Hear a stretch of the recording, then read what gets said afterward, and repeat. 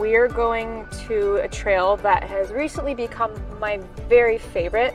Um, I did it for the first time a couple weeks ago, and the views and the mountains and everything is just spectacular. It's here in northern Utah and it's called Squaw Peak. So we're starting on the south end um, in Hobble Creek Canyon, and then it'll be about a couple hours on the trail, and then we'll come out at Provo Canyon. And then from there, we'll go up to Sundance, have some fun. I think there might be some live music, have some food, and have a great day.